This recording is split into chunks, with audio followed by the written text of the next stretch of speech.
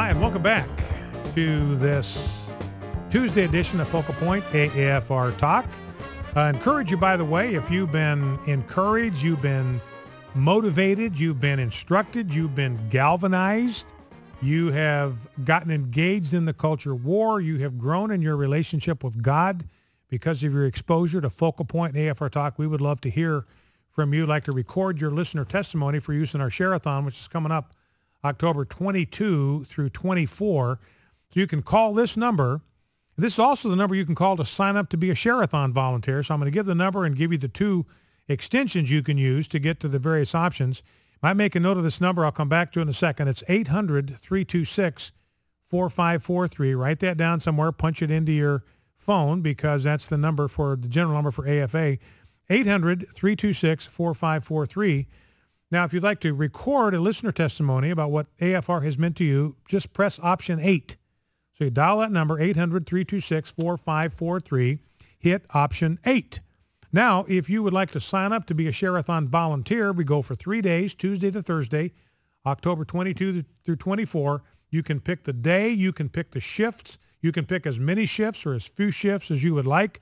We have people coming from Kansas and Texas and all over the Fruited Plain to participate.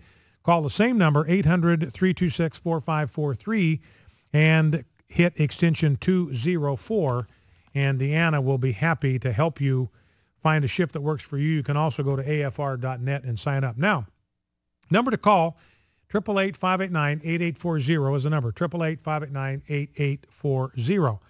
Now, some people, I think uh, Republicans have miscalibrated as to why President Obama refuses to negotiate. Jeff, do you have that audio bite of President Obama saying that?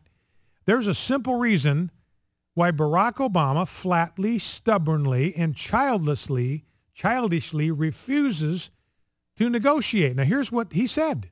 I will not negotiate on anything. Let's re- let Jeff. Let's play that one more time. This is President Obama on this whole idea of negotiation. I will not negotiate on anything. All right. So he says, I'm not going to negotiate on anything. I'm not going to negotiate on Obamacare. I'm not going to negotiate on the budget. I'm not going to no- negotiate on the debt ceiling. And I think that Republicans have misunderstand the president here. And if they continue in their misunderstanding of the president, he is going to be able to play them for chumps. Now, here is here's what I mean by this. President Obama does not fear an economic meltdown. He craves an economic meltdown. He doesn't want to try to avoid an economic meltdown. He wants to precipitate an economic meltdown. He wants one because for him, it's a twofer. If he can get an economic meltdown, he accomplishes two things. He gets to cross two things off of his bucket list. Number one, he can bring down the American economy. I think he has a deliberate, intentional plan uh, or intentional design, purpose, drive, desire to destroy the American economy. So he thinks if he can precipitate a budget crisis, he can precipitate a debt ceiling crisis, it will cause the American economy to crumble. As I'll explain in a minute, he's not right about that, but he thinks he is. And as long as the Republicans think that's what will happen, then he's got them over a barrel. He's got all uh, the leverage. And he also thinks that he can destroy the GOP at the same time. So he will destroy America and he will destroy his political opponents all at the same time. This is a twofer for him. He can destroy America and destroy the Republican Party all in one shot. That's why he craves an economic meltdown. He's doing everything in his power to precipitate a fiscal uh, crisis. So he's hoping that the uh, American economy will fall apart. He's hoping that America is going to blame the GOP for this with the help of the lapdog, the poodle uh, media, even though we all know that he's the one at, uh, that's at fault. He's hoping that the media will be his little sycophants and that the American people will believe the swill and the bilge that they hear from the mainstream media. And that's what we heard in the last segment. Carl Bernstein, the guy from Huffington Post, they're complaining the media is not doing its job. The media is supposed to be out there pulling the wool over the eyes of the American people and convincing them that all of this is the Republicans' fault, and they uh, aren't buying it. So President Obama wants to cross those two items off of his bucket list, destroy America, destroy the Republican uh, Party. And until the Republican Party understands what his end game is here, what his ultimate goal is, they're not going to be in a position to call uh, his bluff. Now, this goes back to something we visited before. President Obama has a fundamental and visceral antipathy for America as it was founded. Every time he travels to a foreign country, he illustrates this because he blames America for every global evil known to man and known to human history. So he thinks America is the source of evil uh, in the world. And I believe he is driven by a commitment, by this intense desire to punish America for being racist to its core. He thinks that racism is in America's DNA, and because it is in our DNA, it can't be rooted out. It's not like something you can treat with antibiotics and clear up. It's not something that can be surgically removed because it's in the DNA. It can't be cured. It can't be eradicated. Therefore, it must be destroyed. America, as it was founded, must be destroyed because it is imperialistic and racist to the core. So that's his big picture. That's what he's uh, driving at. So he's got, I believe, this perverse desire, this perverse drive to bring America down by weakening us abroad and by doing intentional harm to our economy at home.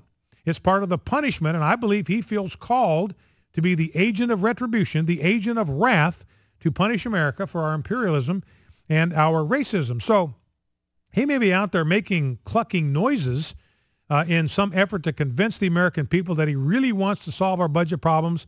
He really wants to avert the debt ceiling crisis. He's going to want to try to paint that impression. But the truth is he doesn't want anything of the sort. I believe, he believes, and I think he hopes secretly and he hopes fervently that the government shutdown and the crisis over the debt ceiling will reduce our economy to rubble.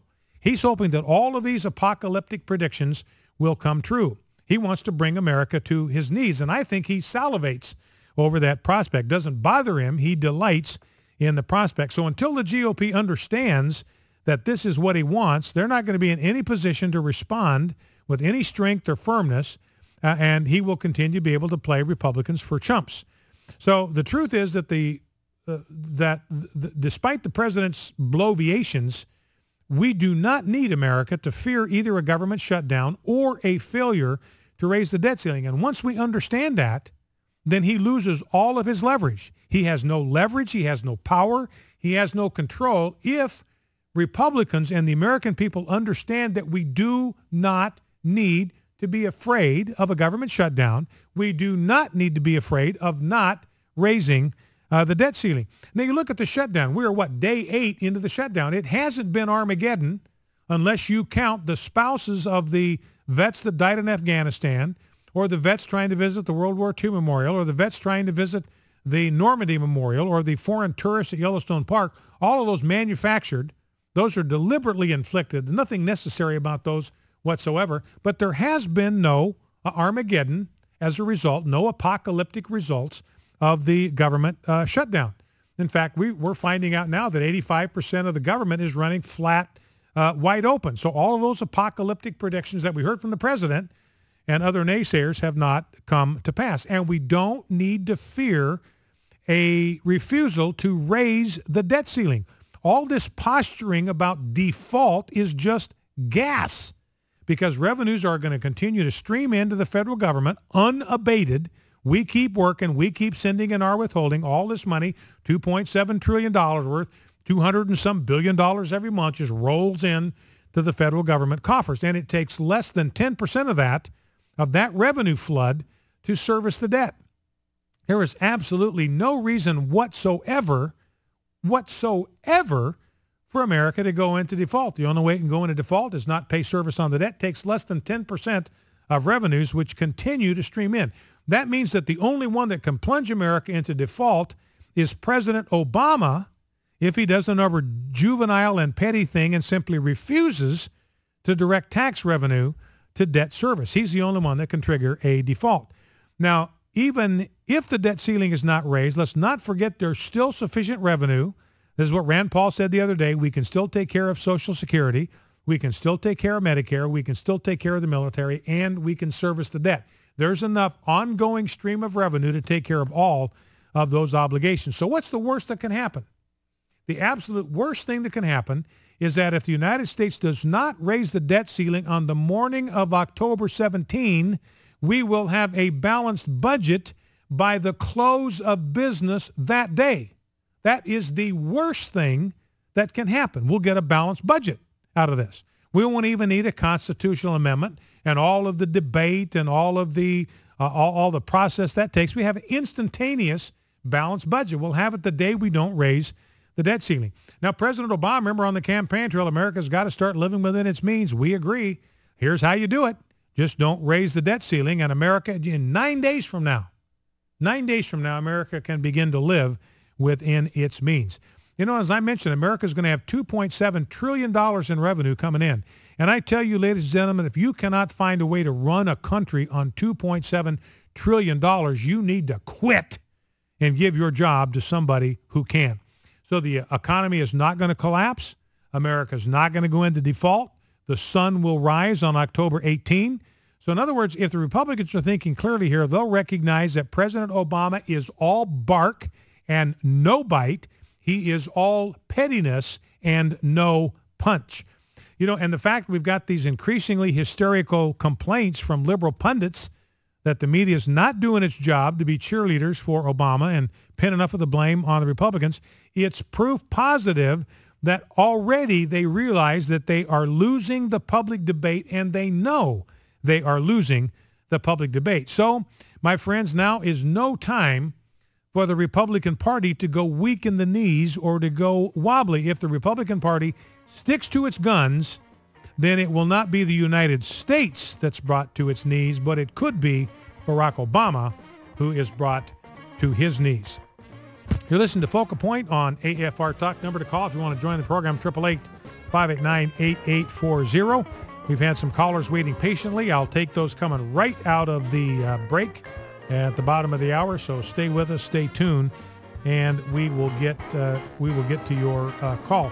And again, I, I just want to remind Republicans that according to Fox News poll, 58% of the American people would vote against raising the debt ceiling if they could.